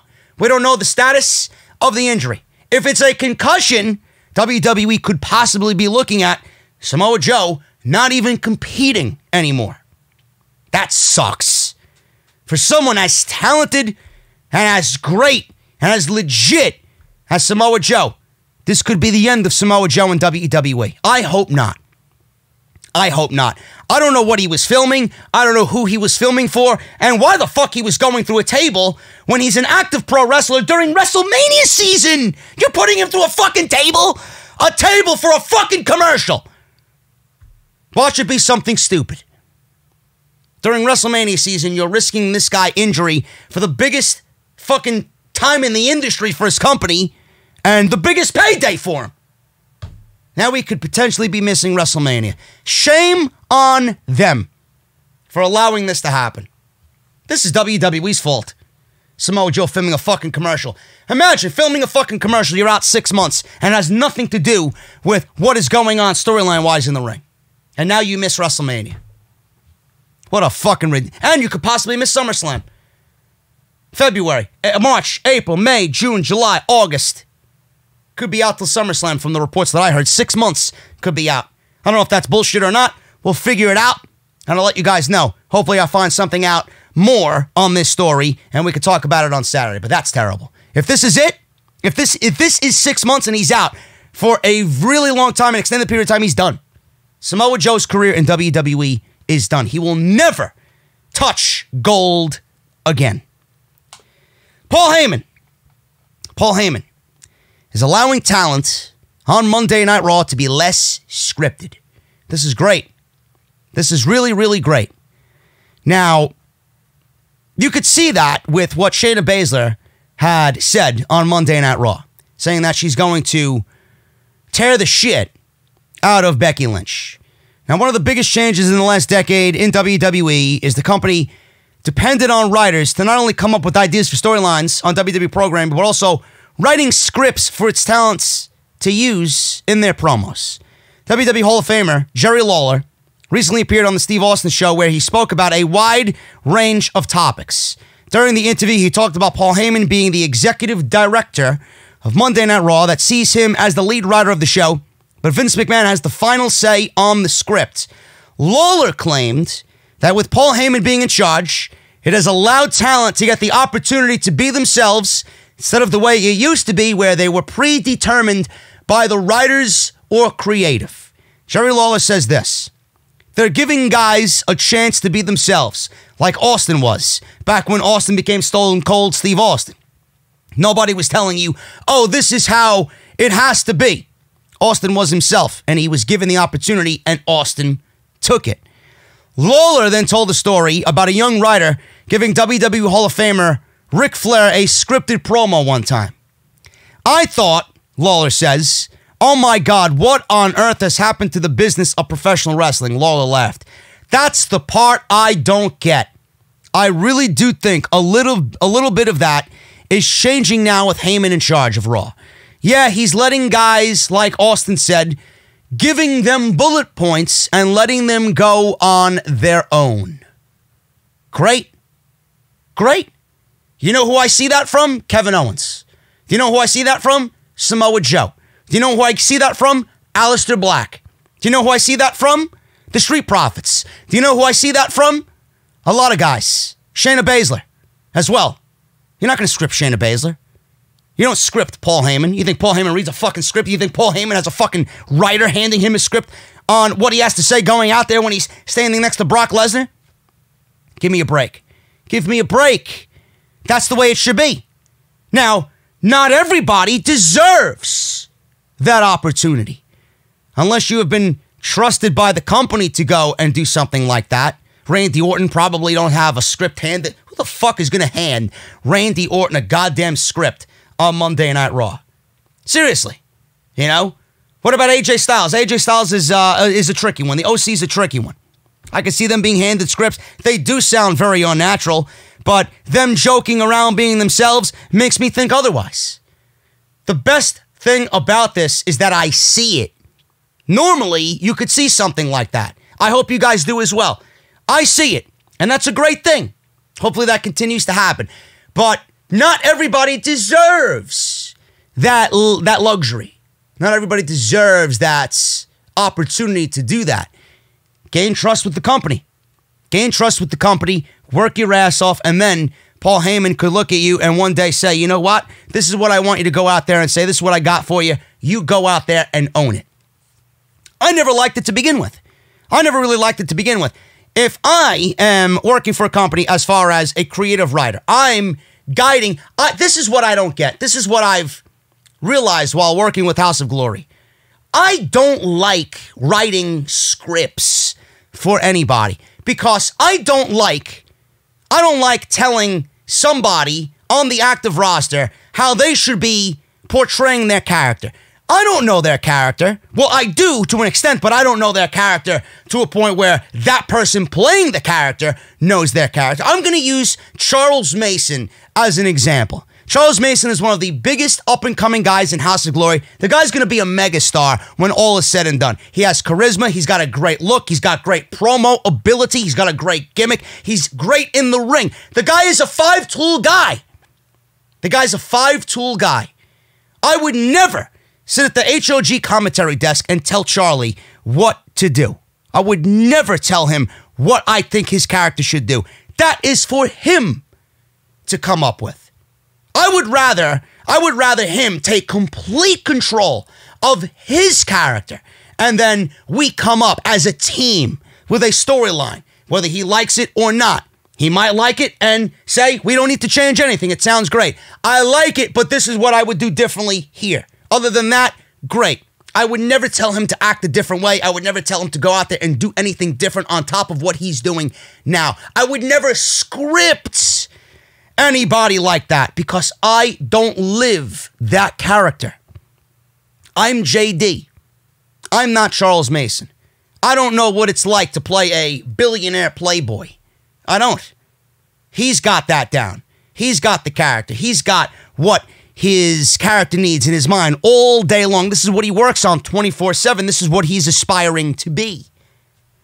I'm only here for the ride, and I'm here to get him over to a point where I could tell the story he's trying to portray in the ring. I'm here to be a small piece of his support system and guide him through support that I have for him and everybody else in the House of Glory roster, whether it's Ken Broadway or Monte or Smiley or Leroy Green or Nolo Catano or any one of the young students or the young talents that we have on our roster. I would never tell anybody to fucking do something for their character. They know their character. That's what needs to happen. That's what needs to happen. This is a situation where if you have something like this, where every, listen, there could be multitudes of writers. There could be multitudes of writers, but I would never have any of my writers write for any of the talents. Come up with a storyline. You're in charge of this guy's storyline. You're in charge of that guy's storyline. You're in charge of that women's storyline. And you go and come up and work with the talent on what they want to do. The talent, more times than not, has better ideas than the fucking writers themselves. Because this is what they do. I'm not going to have some fucking goon, some four eyed geek come in here who doesn't know anything about pro wrestling with his fucking pocket protector. Oh, you, you want a blue pen? You want a, a, a, a, green pen? I got a stick of juicy fruit. You know? I'm not gonna look at this fucking geek and ask him to write a storyline for me without talking to the talent or knowing the talent. Teamwork. Teamwork. I don't know how it is on Monday Night Raw, backstage at Raw, but hopefully Paul Heyman is lending his voice and his knowledge to everybody. Hopefully the writing staff is a well oiled machine Obviously not. The show sucks. It's gotten better, but the show still ultimately sucks. What I'm trying to get as get at is don't script talent. Don't. Don't let them go out there and be themselves. Let them own that moment. Leave it up to the fans, whether they like them or they don't. Don't go out there and script for something or someone that you don't know. Because more times than not, it will end up failing and they will never have an opportunity if someone else is writing the words for them. Let them feel it. Let them think it. Let them express it. Simple. It's simple. I hate hearing shit like that. Hopefully, that's the edict that Paul Heyman continues to push in WWE on Monday Night Raw. We've seen it with Shayna Baszler. We've seen it with Shayna Baszler. Baszler cursed. She said shit. Ooh. On Monday Night Raw. Shayna Baszler responds to a idiot over her promo on Raw. Blasted some idiot on Twitter.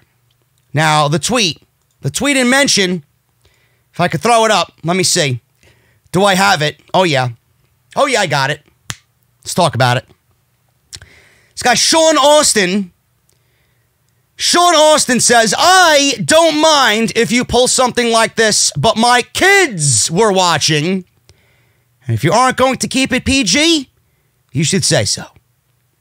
Shayna then says this, and I quote, or you could be a father and tell them I am a terrible person and they shouldn't like me for that. Or that they will get grounded and their tablets taken away if they ever do that. Because I don't give a crap about your kids, so I won't modify my behavior for them. End quote. Oh, Shayna. Do I love Shayna Baszler? She is awesome.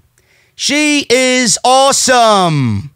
So that's what she said about this geek on social media because Baszler used the word shit and it was uncensored. Here's a uh, here's a little doozy for you. How about you don't let the fucking kids watch after a certain hour? We don't know how old said kid was. We don't know what his parenting tactics are like. But if Shayna Baszler came on Monday Night Raw and my child was watching Monday Night Raw, you know what I would tell my child? Hey, honey, or hey, son, that is your next WWE Raw Women's Champion. That's what I would tell them. I would tell them, honey, hey, son, that's the type of female you need to cheer for. There you go. I add nothing else to this conversation. I don't know what this guy's parenting tactics are like. I don't know how old his son or daughter is. Give me a break. You're blaming the performer for saying shit. Yet this is the same fucking kid that will go and watch, or the same parent that will go and watch Stone Cold Steve Austin fucking chug beer and do this and fucking this, right? Give me a break. Give me a fucking break. The the the, the shows are too PG. The shows are too PG as it is. God forbid we allow a shit word to seep into the three hour program. Oh my God. It's the end of the world. PC pussies out there. Give me a fucking break. Shayna Baszler did great. I hope to see more of an attitude and verbiage like that on Monday Night Raw. It gives it a real organic feel. Honestly. The show should be more like that, to be perfectly honest with you. Not overdone, not overdone, but that's the type of shit I like. It's real. It's real. That's how people talk in real life. That's how fighters in competition talk in real life. I don't know what else you want me to say on it. Andrade and his days as U.S. champion could be over. Now, Andrade is scheduled to, he's scheduled to return to the WWE after he finishes 30 day suspension for failing the company's wellness policy. He will be in the uh, gauntlet match, the two week gauntlet match at Super Showdown. Now, he is still the United States champion, and the reason why the decision was made to not have him drop the title to Humberto Carrillo is that Paul Heyman felt that it was too early in the story to have Carrillo win the title. There you go, Paul. You got a fucking golf clap. Nice little birdie putt on hole nine. Thank you. Heyman is a big supporter of both Humberto and Andrade. Now, according to Sports Illustrated, Sports Illustrated says that it looks like Andrade's days as champion are numbered. Andrade's days are numbered as champion, but Bruce Pritchard still remains. How is this a thing? How is this a thing? I don't get it. According to Sports Illustrated, their sources say that Andrade may not make it to WrestleMania as champion. So let me get this straight. Let me get this straight. Andrade is going to have the U.S. title taken from him on the road to WrestleMania. Andrade is a champion, deserving of a championship. He is a WrestleMania caliber athlete that is a champion at the moment. And you want to take the title from him and put it on someone who is not a WrestleMania caliber athlete, who is not a champion or in the conversation for championships. You want to put the title going into WrestleMania on fucking Humberto Carrillo. Is that what I'm hearing? Is that what I'm hearing? Whoever's in charge over at Monday Night Raw, I urge you to listen to me and listen to me very closely. The United States Championship right now is in a position in which it's dead. It is absolutely worthless. Andrade has done nothing with the championship. Those who held it before Andrade have done absolutely nothing with it. The title is a fucking prop, legitimately. It means nothing. It means absolutely nothing. If you put the title on Humberto Carrillo, then you are ultimately killing the championship and putting it on somebody who is not over.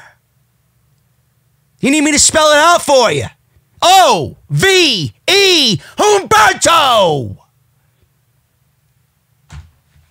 He's not over. Why are we talking about Humberto Carrillo as the United States champion? I don't get it. Humberto hasn't been ready. He is not ready. He will never be ready. Him and his fucking silly arm drags. Give me a break. I don't think Humberto even deserves to be on WrestleMania, period. Never mind a fucking championship. Just get the title on somebody else and not Humberto. Let's do the Rey Mysterio and Andrade match at WrestleMania. Mask versus hair, please. Please. Can we just do that? Jesus Christ. I don't understand. Yeah, first you want John Cena and Elias. Now you want Humberto going to WrestleMania as the United States champion. Nice pre-show match you got there, Humberto. I can't wait to not watch it. Days are numbered. Fucking Bruce Pritchard's days should be fucking numbered. The Undertaker. I got news. I got news seeping out of my fucking ears on this show, man. I'm not even done yet. The Undertaker is slated to start WrestleMania and his feud with AJ Styles when? Let's talk about it. According to a source in WWE, The Undertaker is expected to start his WrestleMania feud in Washington, D.C. on March 9th during Raw, the day after the Elimination Chamber pay per view. The day after the Elimination Chamber pay per view seems like a perfect opportunity to start the Undertaker's WrestleMania program with AJ Styles. The card is always subject to change, and Vince McMahon could modify or alter any script right up until the show, like he did this week with Matt Hardy and Randy Orton. Now, the match is certainly one that fans are going to get excited for. It's a first time ever, it's a fantasy matchup. People are talking about it already. I gave my opinion on it. I think it could be done a lot better. I think we could do a lot better here. The idea of Styles taking on The Undertaker is something wrestling fans and critics have fantasy booked for several years. With regards to why the duo of veterans here are being booked together at WrestleMania, Dave Meltzer is reporting on the Wrestling Observer Radio is that because AJ Styles can afford to take a loss. He says, and I quote, at least in some ways, I can understand that match. At least, number one, AJ Styles is a heel. Number two, AJ Styles can lose to The Undertaker and it ain't going to hurt him at all. Number three, if you're going to have The Undertaker in a match, you might as well have it against one of your best guys so it doesn't suck. Do you know what I mean? You know, and one thing is most guys really that wrestle The Undertaker and lose, they don't really get hurt by losing to The Undertaker. The way AJ's been positioned, it's not going to hurt him. So it's just a way to get The Undertaker on the card. I am still looking for some news reports. I would not be shocked. I, I mentioned this. I mentioned this last week. Who knows what the Undertaker's reason is? The Undertaker might have actually firsthand picked AJ Styles to work with. He went to Vince McMahon and said, "I want to work with AJ Styles over everybody at WrestleMania." Who knows? I mentioned this word for word. I would not be shocked if this is the case. Maybe the Undertaker looks at AJ Styles as being this generation's Shawn Michaels. And he's thinking, how can I get a great WrestleMania match and feel like I could be brought to that level like I was at WrestleMania 25 and WrestleMania 26 with Shawn? How can I come close to achieving that? Maybe he's finding that in AJ Styles. Maybe that's the reason why he wants AJ Styles. Got to bring all the variables to the table, man. I talked about this word for word on the podcast last Saturday. And if you don't believe me, go back and watch it. Maybe The Undertaker looks at AJ Styles as being the closest thing to Shawn Michaels and the closest thing that will bring him to a match of that caliber this late in his career. Who knows? He deserves it. He wants it. He wants it. It's better than fucking Goldberg. Right? It's better than shitting it up with Goldberg. Who knows? We'll find out. I'm going to look for it. If I do, we'll talk about it on the podcast on Saturday. Guys, before I go on to talk about WWE Backstage and NXT and AEW, I got to shout out my sponsor for the show. Tonight's sponsor is coming from The Ridge, ridge.com slash scripts. I got a Ridge wallet. I love it. I take it with me everywhere I go. It's stylish, it's durable, it doesn't let me down like Monday Night Raw, and I feel very protected with its RFID blocking qualities. The Ridge helps you guys carry what you need to every single day, from streamlining how you carry cash and cards in the flagship Ridge wallet to their portable charging commuter backpacks. They want to make the most out of what you bring with you every single day. I've been using the Ridge wallet for a year and a half now. Again, I take it with me everywhere I go. It doesn't bend, it doesn't fold, it doesn't break, it doesn't scratch. It's still in pristine condition. I know all my information is safe, and I love the assurance of the RFID blocking qualities. The Ridge is so confident that you guys will enjoy their product that they made it as simple as possible. Free shipping so you guys can get it fast, free returns in case you don't like it, which I don't know why you wouldn't. And if you do like it, there's a lifetime guarantee. On top of that, they have over 30,000 five star reviews, so they have a lot to be confident about. The Ridge is super durable, made from military grade materials like titanium and carbon fiber. It's proven to be bulletproof, waterproof, and chainsaw proof. Guys, all you have to do is the following. If you're interested in the Ridge, which I hope you are, it's a great way to support the show. Ridge.com slash script. You're going to use code SCRIPT at checkout. Once again, that's ridge.com slash script. 10% off at checkout when you use code SCRIPT. And I want to thank my friends over at The Ridge for supporting Off the Script. Yeah, man, normally I only push stuff on the show that I will put my name to and stamp my name to. The Ridge is definitely one of them. If you guys don't have a Ridge wallet, they sell other stuff on there as well, like knives, and they have like portable charging power blocks. It's awesome. Backpacks. It's so great. It really is. If you guys don't own a Ridge, I would highly, highly, highly recommend it. So I want to thank them again for supporting the show. They really go above and beyond for me, and I am so grateful to have them as a part of the Off the Script family. WWE Backstage rating this week with Keith Lee. Bask in his glory. One of the biggest things in WWE right now is big man Keith Lee and his just unbelievable fucking ability in the ring, man. I love Keith Lee. Unbelievable. The Big Bang Catastrophe is wreaking havoc on NXT. Who is his next opponent for the North American Championship? My money is on the Velveteen Dream. I think that would be awesome. An awesome showdown at TakeOver Tampa. Dream versus Lee. Take my money, man. Keith Lee was on WWE Backstage, and Tuesday night's episode saw a decrease in viewership. The show drew 127,000 viewers on FS1. That is down from last week's 169,000 viewers. And the show drew a 0.5 rating this week in the 18 to 49 demographic, which is down as the previous week's rating was a 0.6. The show did feature an appearance by NXT North America champion Keith Lee and WWE Hall of Famer Mark Henry, who I haven't watched this. I'm sure he put over Keith Lee. Before Dijakovic and Lee had their match at TakeOver in Portland, Mark Henry was an advocate in a very well done video package, hyping how both guys are two of the best big men in WWE right now. So uh, I'm pretty sure he put over Keith Lee. I have not watched it. I have not watched WWE backstage in a uh, in a while. There's no reason for me to. There's nothing interesting on that show, and CM Punk really isn't adding anything to the show either. Even though he's probably the only reason why anybody watches. But Lee was there to talk about a wide range of things, including his time in NXT, as well as to reflect on his moments with Roman Reigns in the Survivor Series, which impressed WWE officials.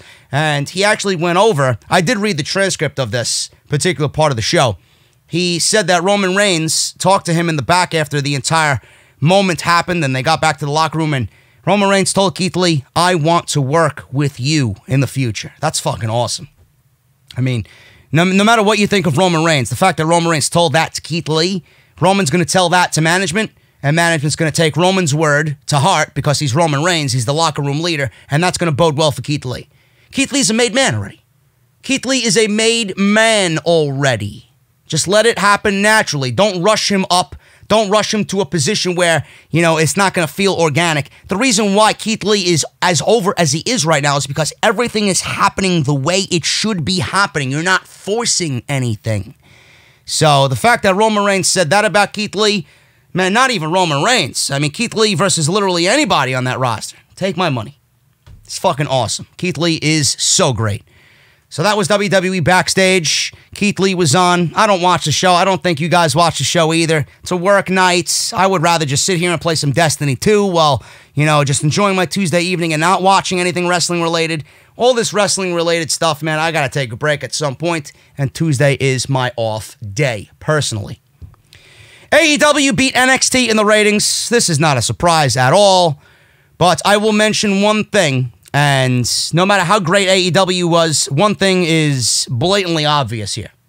Now, the Democratic fucking presidential debate, it, it, might be a juggernaut, and a lot of people might be watching that over anything else on TV, but those are viable excuses. They're not some blatant excuses that people are just throwing out there. Those are real reasons why the shows were down, or AEW was down, or NXT was down, and why AEW didn't eclipse 900,000 views, which they should have easily eclipsed, or why neither show has broken a million viewers yet, right? Well, AEW did week one, but since then, no.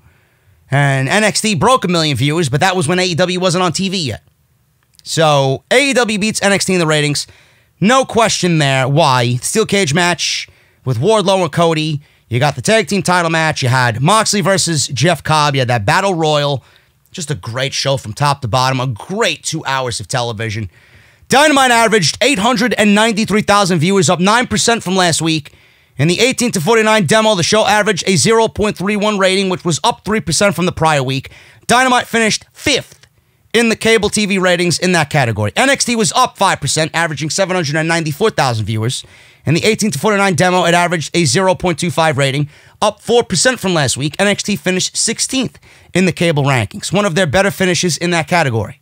Aside from the show, or aside from when the show ran unopposed on Christmas night, it was the highest viewership total for NXT since December 18th. The demos were different than usual this week as the show's tied in people over 50, a category NXT usually wins out in. NXT had a slight win in people 18 to, 18 to 34 and a 0.19 rating in in the in that category to Dynamite's 0.18. AEW won big in the male demographic, 18 to 49, with a 0.44 rating to NXT 0.32. But with females in that range, the shows both had a 0.18 rating. The debate likely hurt NXT more than AEW, given that the debate did a monster rating in people over 50, and the category of 50 is usually NXT's easy win against AEW. The only other sports competition on the night was a college basketball game on ESPN that only aired against the second half of the wrestling shows and averaged 978,000 viewers. Miz and Mrs., which follows NXT on the USA Network, had a season high 500,000 viewers and averaged a 0.17 rating in the 18 to 49 demographic, finishing 40th on cable in that demographic. It's great. Fine. AEW beats NXT in the ratings, as it should, because the show was better. The one thing is, and I've seen a lot of people talking about it, and I can't help but agree. And no matter if the Democratic, you know, presidential debate is a thing, and people are watching that and maybe going back on DVR and watching a Dynamite or going back on a DVR and watching an NXT, they're not watching it live because of other things that are piquing their interest and are more important in that time slot on that night. And they could always go back and watch, right? Something is going to be more important than the wrestling show. Fine. Granted, that's your opinion, that's your viewing habit. The thing is, with the live viewers, they're not generating new viewers. It's always the same number. NXT's not gaining new viewers. They're not generating interest to gain new viewers. There's no new eyeballs on the show. It's always in the 50 plus demographic, they win out. Yeah, that's their key demographic. And Triple H attributed that to both of the shows being on the USA network. Whatever. I attribute it to being NXT is a throwback to what that demographic loved about pro wrestling, and they find that in NXT more so than they do SmackDown or Raw, where it's basically enter- basically more entertainment than pro wrestling. Where NXT is more pro wrestling and very little on the entertainment. It's real, it's sports.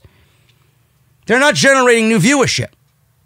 They're stagnant at the 890 to 920,000 for AEW, and NXT is anywhere between 750 and 800. They're not generating new eyeballs. These are two companies, two, two big stations and networks. Where's the marketing? Why aren't people watching this show? Why aren't people watching Dynamite is the bigger question. The show is fucking phenomenal. What do they have to do to get people to watch the show? Is it really just pro wrestling is not in? Has Vince McMahon just, you know, won out over everybody? People want to see fucking cheesy, cringe like entertainment? Mindless entertainment on Monday? Meanwhile, I'm watching Wednesday, and my goodness, man, I get more in two hours of fucking dynamite than I ever do watching three hours of Monday Night Raw. I could take the entire month's worth of Monday Night Raw and get more out of two hours from last night's Dynamite than I did all month of Monday Night Raw. Why aren't people watching this show? I could say the same thing about NXT. Why aren't people watching NXT? They've delivered some of the best TV shows in January. Ever. In December. Ever. I don't get it. I really don't understand how a combined 1.6 million watched these shows, and Monday Night Raw can generate a 2.5 in the first hour, 2.6 in the first hour, or 2.4 overall rating for Monday Night. How? Or SmackDown can generate a 2.4. How? How? It's a Friday night, and the show is complete garbage. Meanwhile, Dynamite is doing everything right on Wednesday night, and people aren't watching. I, I, it's a bizarre mystery. It really is an unsolved mystery. I just don't get it. I don't think we'll ever understand it. I really don't. Now, who's to say that it didn't eclipse a million with the DVRs? AEW always eclipsed a million. Dave Meltzer reports this every week. It's 1.2, 1.3 million with the DVR factored in. NXT is just about 900 to a million DVR factored in.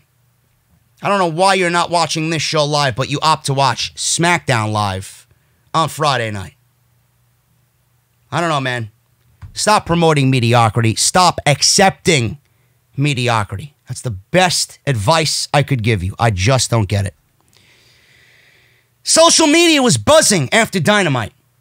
That former ECW champion, Raven, is the exalted one.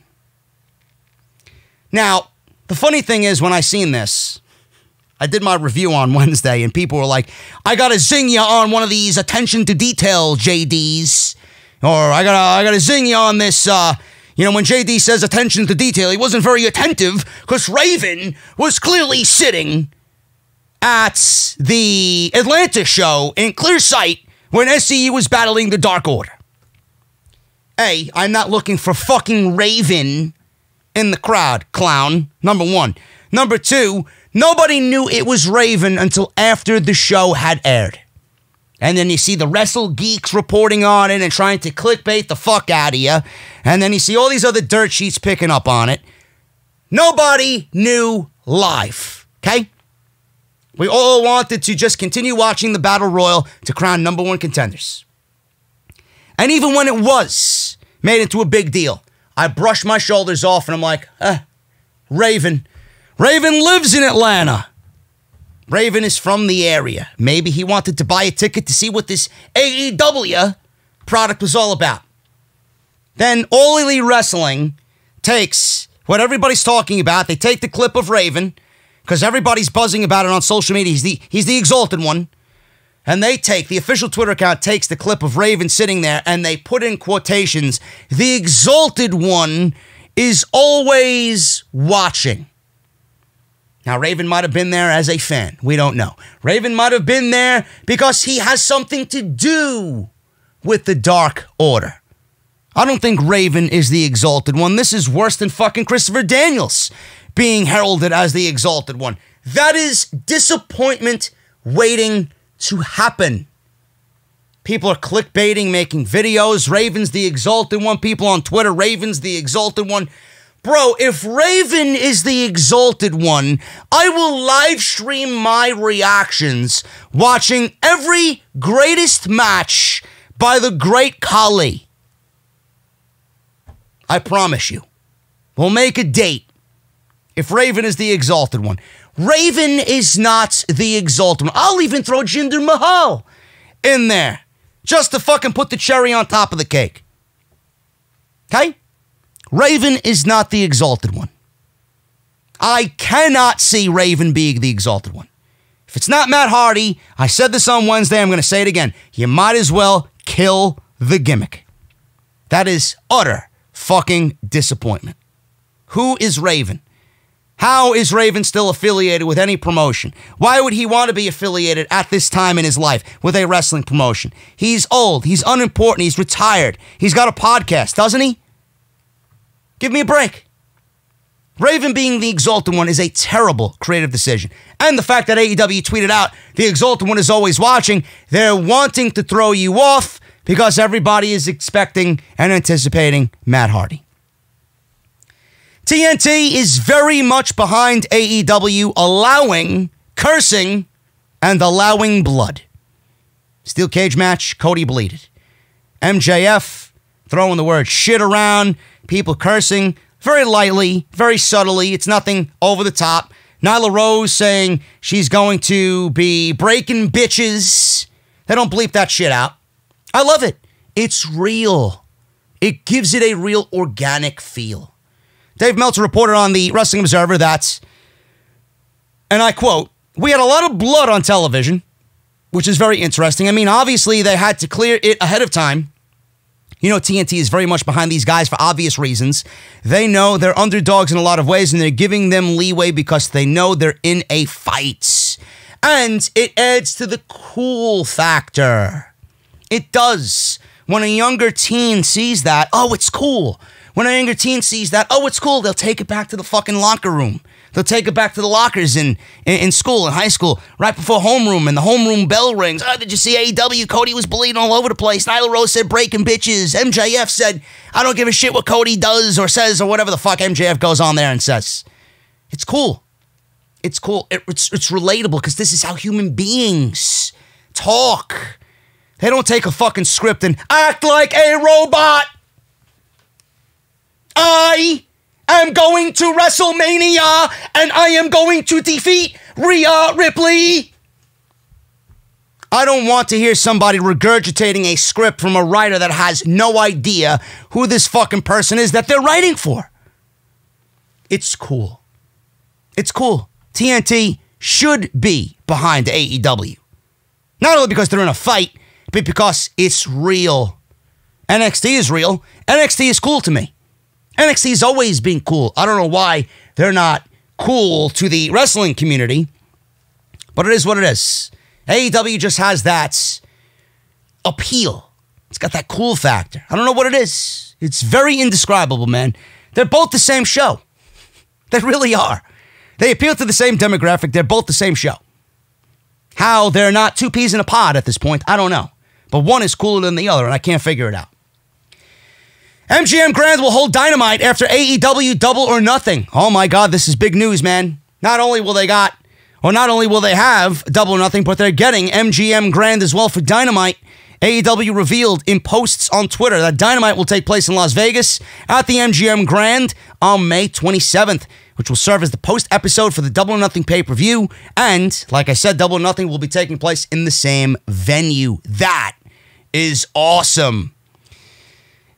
There is an arena that refuses to work with AEW over the relationship with WWE. Fightful is reporting that AEW wanted to book an event at the former US Bank Arena, Heritage Bank Arena, but the arena wouldn't do business with the promotion.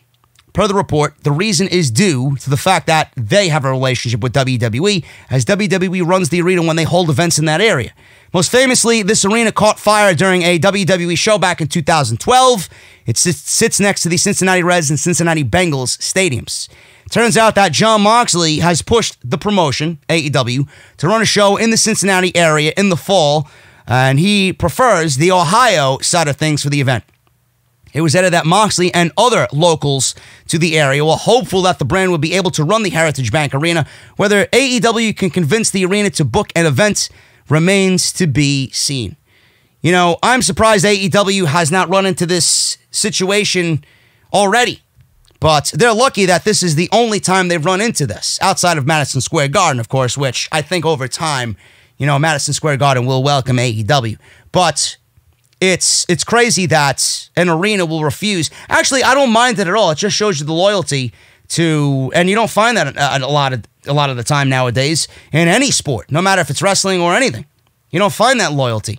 They're loyal to WWE. You know, WWE probably helped them with whatever happened with the fire back in 2012. And it, it, might be a situation where they're remaining loyal to WWE just based on that episode back in 2012. Who knows? Who knows? But the, the, the shitty thing is, Moxley is from that area. And there is no other area in that area. There's no other venue in that area to run a show out of Cincinnati. So the people in Cincinnati, the people I feel bad for, are the people who are AEW fans in that area that might not even ever get to see an AEW show because of this ongoing relationship with the Heritage Bank Arena. and WWE. Those are the people I feel bad for. But I don't think you could do anything. It's just a loyalty thing, and the people who run the arena are being loyal to WWE. There's absolutely nothing you could do about that. Again, like I said, I'm surprised AEW hasn't run into an issue like this already with their programming and where they want to hold their shows. So we'll see what happens there. And if AEW ever runs Cincinnati, I'm sure you guys will know because they'll make a big deal out of it. They have not been there yet. And if they do, they will make a big deal out of it. Cincinnati for the first time. I'm sure you guys will be hearing about it on social media and on Dynamite. Quickly, guys, two more final things before we get out of here. One small thing on Finn Balor. I don't know if Finn Balor is going to be challenging Adam Cole for the NXT Championship. Certainly looks that way because the teases about Adam Cole being the longest reigning champion and him outdoing Finn Balor could absolutely play into a storyline. So we'll see what happens with that. But Finn Balor is going to appear at the next set of NXT UK tapings. Now, WWE announced a UK Takeover Dublin event on Saturday on Sunday night, and that will coincide with the TV being taped that will lead up to that show. March 6th and March 7th is the next set of tapings. Whether this means Balor will be appearing at the Takeover event is unclear, but he is going to be featured on this particular two day set of tapings. This will not be the first time Balor has appeared at NXT UK. He made a surprise appearance at TakeOver Blackpool in January 2018. That night, he was the surprise opponent for the Irish Ace, Jordan Devlin, and that resulted in Balor's victory. Balor also defeated Ilya Dragunov at Worlds Collide in January of this year. Dragunov may look to exact a measure of revenge on Balor, but of course, that remains to be seen. What if Balor is coming on in to feud with Walter? I don't know. Maybe that's what he is saying is his next move in this big game of chess. Maybe he wants the NXT UK Championship. Walter versus Balor? Bro, take my money. Seriously, take my money. We'll see what happens. Balor is one of the most interesting guys in all of WWE at this juncture. And finally, guys, Adam Cole could be Finn Balor's opponent at TakeOver Tampa. Adam Cole, I expect the Undisputed Era to be brought up sooner rather than later. He had an interview. He had an interview with, I believe, who is this with? Steel Chair Magazine is who he was interviewed with. He spoke about a wide variety of topics, and during the interview, he was asked about working potentially in the future with Triple H, who oversees the NXT brand, and whether he would be interested in potentially retiring Triple H. According to Cole, he wouldn't pass up that opportunity ever. And if it was to happen where his career was on the line, he would absolutely accept that honor. Anybody on our roster would agree. We all idolized Triple H or Shawn Michaels as kids, and now we've grown up. We're working together with them. We're really getting to see their minds and not only how smart they are, but how much they absolutely love this job. I wouldn't pass that up for the world. That absolutely is something that I would love to do. I know many NXT talents feel the same way, and I definitely know a bunch of fans would love it. That's that. So that's what he said. I don't know why that was a topic or why that was a question, but there's anybody I could see in a retirement match against Triple H, Adam Cole will definitely be that guy. But I don't think that's ever going to happen. We said the same thing about Finn Balor. We said the same thing about Nakamura. I don't think that's going to happen. I'm done seeing Triple H in the ring. I think you guys are the same way. And I think the only match that Triple H has left, honestly, Triple H was to have one more match. It would probably be against The Rock. If it's not The Rock, the only other person I could see in the ring with Triple H as being his final match ever would be CM Punk. Take your poison. Pick your poison. Adam Cole and Triple H, I could see it, but I don't think it's ever going to happen. Triple H and The Rock, I could see it. Triple H and CM Punk, that'd make one hell of a fucking TV storyline, I'll tell you that. Guys, I'm getting out of here. I've been here long enough. Holy shit, my voice is going. I got my cold beverage here. I need to recuperate for Saturday's show. But I hope you guys enjoy that. Too much Baron Corbin on the mind, man. Too much letting Baron Corbin in on my fucking venomous rant. If you guys enjoyed this episode, please hit that thumbs up. Please hit that subscribe button down below. The thumbs up really helps, man. So please hit that thumbs up. Hit that subscribe button. Turn on that bell for all notifications. Check out all the other content that you missed on the channel. And I will see you guys tonight for SmackDown on Fox. Get your t shirts. Check out Ridge. Follow me on Twitter. Follow me on Instagram. You guys know the deal, man. Everything you need is linked down below. I'll see you guys tonight for SmackDown. Hopefully, we won't be here long, and I'll see you right back here for episode 314, part number two of OTS on Saturday afternoon. See you guys then.